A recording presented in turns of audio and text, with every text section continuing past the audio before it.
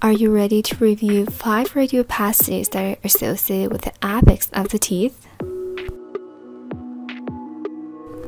Hi there, I'm Farida. If you're new here, welcome. If you've been here, welcome back to the Dento Radiology.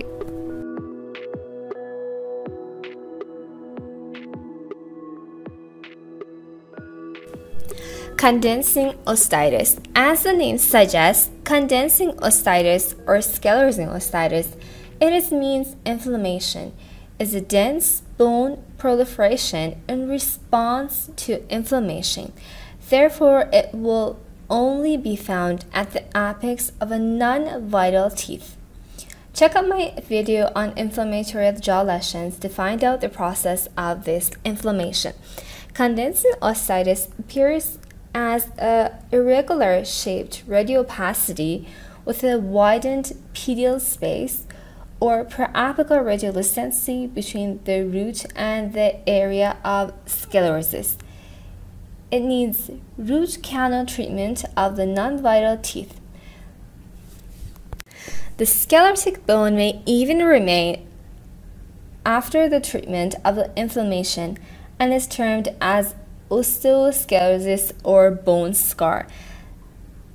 The key takeaway is that condensing osteitis is only associated with pulpal inflammation, while the other apical radiopaque lesions are associated with vital teeth.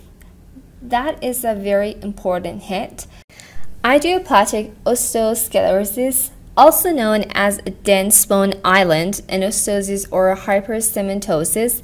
This finding is of um, unknown etiology. That's why we say it's idiopathic and typically occurs in the posterior of the mandible, but it can be found anywhere within the jaw. Idiopathic osteosclerosis present as a dense, homogeneous radiopacity with an amorphous shape when it's associated with a root, the PDL space is normal and the tooth is vital. On a CBCT, it will blend into the adjacent cortex with no thinning or expansion. A dense bone island located periapical to a tooth root can cause external root resorption. Dense bone island does not require treatment if multiple DBI are present, the patient's family history should be reviewed for the presence of, of colonic polyps for Gardner syndrome. Hypercementosis. Hypercementosis, as the name shows, is the buildup of excess cementum on the root surfaces. This deposition of cementum typically occurs within the apical third on the posterior mandibular teeth and may give the root a bulbous appearance. Though the appearance is unusual, the tooth is vital and the PDL space and the lamina dura will be normal and continues around the area of the hypercementosis. So actually it's a part of a normal teeth. You can say the root of the teeth is just getting bigger. The exact etiology is unknown, however, it's theorized to be as a response to unstable or changing occlusion, conditions such as Paget disease and hyperpituitarism should be ruled out if the hypercementosis is generalized. No treatment is necessary. However, the extraction of the teeth with hypercementosis may be more difficult due to the bulbous shape of the roots. Cementoblastoma is cementoblastoma is a benign odontogenic neoplasm of cementoblasts. It is seen mostly involving the mandibular premolars or the first molars of young adults. Cementoblastoma appears as a well-defined radiopacity or mixed density lesion and that can have a radiolucent rim. So it can also have a spoke wheel pattern.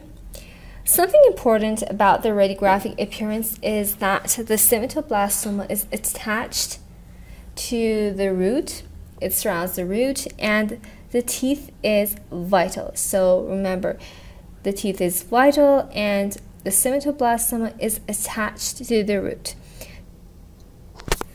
The outline of the roots are usually obscured and external root resorption may be seen as well. A clinical sign that can be very helpful and it's very important is that the patient has pain and swelling, even though the teeth is vital. So, pain and swelling can also be present. So, because this cementoblastoma is a tumor, it should be biopsied and sent for pathological evaluation. Cemento-osseous dysplasia is a replacement of the normal trabecular bone with fibrous tissue and abnormal bone. It begins as a well defined radiolucency associated with the apex of the teeth. And as the lesion starts to mature, the radiopacity starts to begin and appears around the tooth apex, right in the center of the radiolucency. And the late stage lesions uh, presents as a dense radiopaque lesion with a radiolucent border that's surrounding it. You can see a radiolucent rim. When cemento-osseous dysplasia involves the teeth, the lamina dura may be lost, and the PDL space would either be normal or it can be uh, as a widening appearance or it can be also lost. However, the involved teeth remains vital so please don't confuse it with a preapical lesion, especially when it's in its early stage and has a radiolucent appearance and can mimic a preapical inflammation lesion. So, no treatment is indicated for this lesion. However, yearly radiographic follow up is recommended to assess the maturation of the lesion.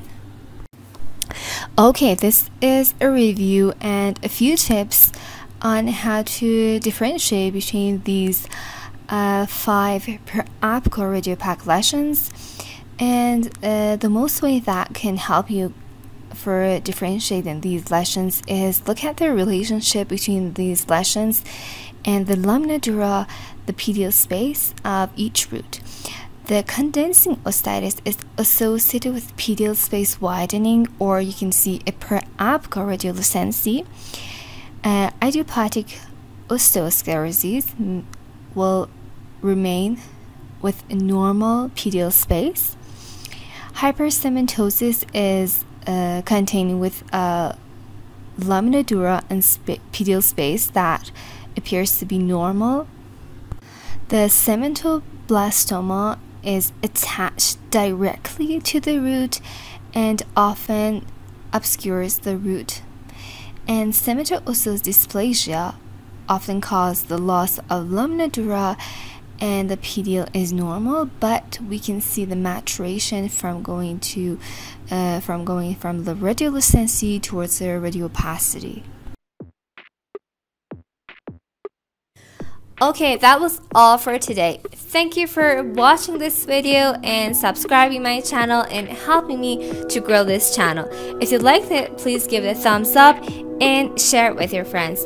Thank you for participating in spreading out the information to ones it would be helpful. Keep smiling and have an awesome day.